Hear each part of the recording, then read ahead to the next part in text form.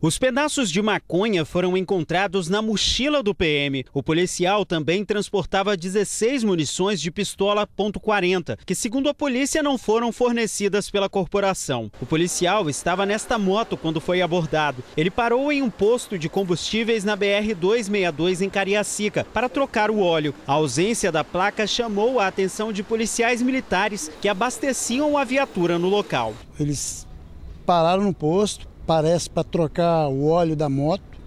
A moto se encontrava sem a placa.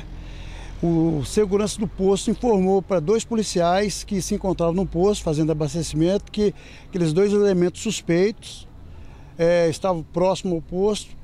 Quando foi feito, foi, foi tentado uma abordagem, eles é, atravessaram a, as duas faces da BR, vindo atravessar o canteiro entrando em fuga, direção sentido Viana.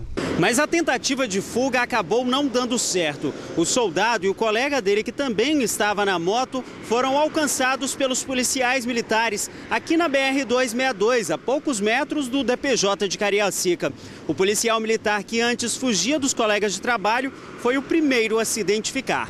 O soldado entrou para a corporação no ano passado. Segundo os militares que efetuaram a prisão, ele é lotado na 11ª Companhia Independente de Viana. O militar chegou a ser reprovado na seleção para a PM, mas foi aprovado por determinação da Justiça. Segundo informação, ele foi contraindicado pelo Serviço de Inteligência da Polícia Militar, mas infelizmente a, a gente tem que seguir o quê? A Justiça. A Justiça colocou ele para dentro.